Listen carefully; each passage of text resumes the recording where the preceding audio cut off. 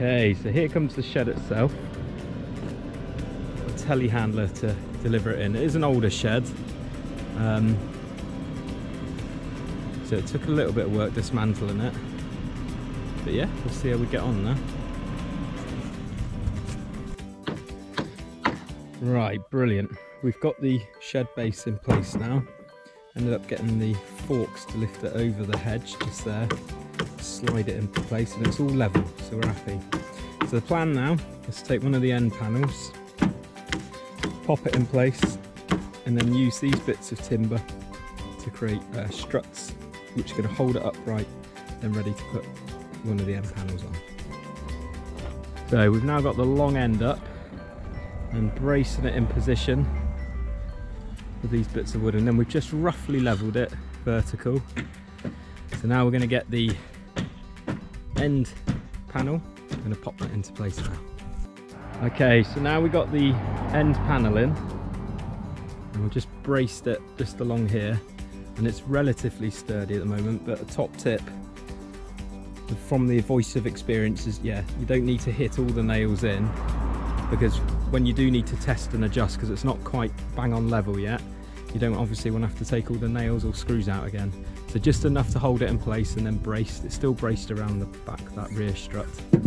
Um, and now we're going to put on the side panel another lengthways um, the reason for that rather than putting on the door panel first is because the door's a little bit flimsy at the moment because it's not being supported. So we're going to put another lengthways panel on here and crack on.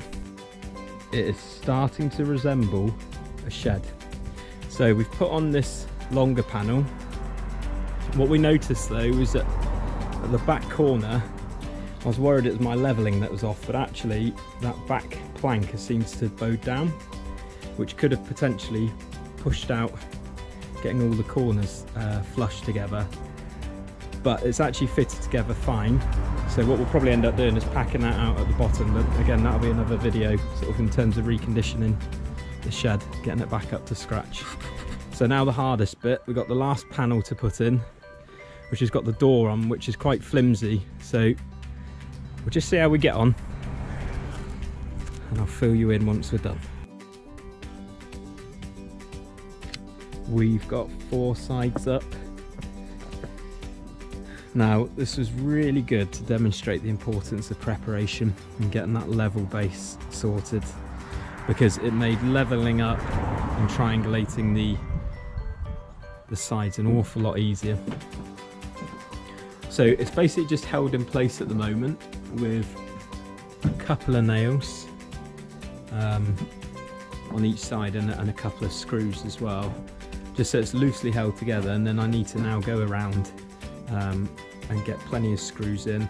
I've been advised to use screws rather than nails because screws will grip, they'll pull um, like the, the corners in tighter together and also they're less likely to slip. Um, so yeah. Next thing to do is put the, the roof beam which goes lengthways right the way across and attaches in there and then we can start thinking about a roof. Right then, we put the main cross beam in and all this is attached in with is just four long screws that go all the way through and then this just sits on top but it has been nailed straight down at an angle into there right the way across onto the other side.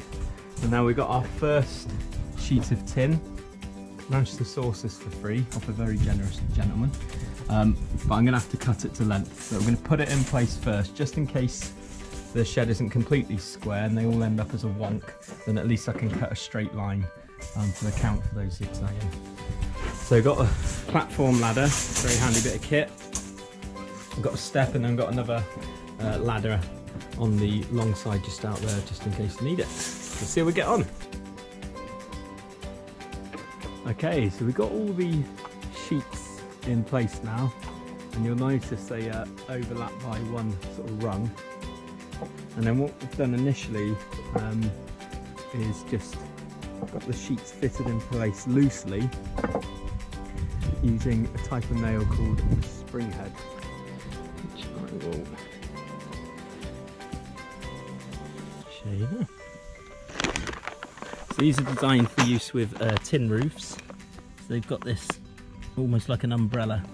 So the nail will go in, they'll fix the roof onto the timber below and then this umbrella helps stop the, the rain going in. So we've got about six nails I guess on each sheet and then I'm just going to reinforce it. So once I'm up there I'll show you how to do that. Right, so up on the roof now, just use our ladder to dash up. Now you just got to be a bit mindful when you're up there. Obviously you've got the uh, roof beam that goes down the middle and then the support of the walls. But I guess, yeah, just trying to spread your weight. Uh, you can use crawler boards as well, um, but this tin's pretty solid. I've been moving around here um, for a good hour or so and it's fine. Um, the actual nails then themselves, these spring head ones, is how they fit in. And you want to put them on the uh, top of the peak of one of these uh, sort of runs um, and that way the water's less likely to collect in there and seep through. Uh, for the holes that are already existing um, where it's been used before um, you can use uh, silicon sealant um, or sort of bitumen paint um, which is what you see uh, sort of painted onto sort of um, wood to preserve it and waterproof it. So I'm going to be using silicon uh, later to seal these holes. so yeah, in terms of the actual nails themselves. Um,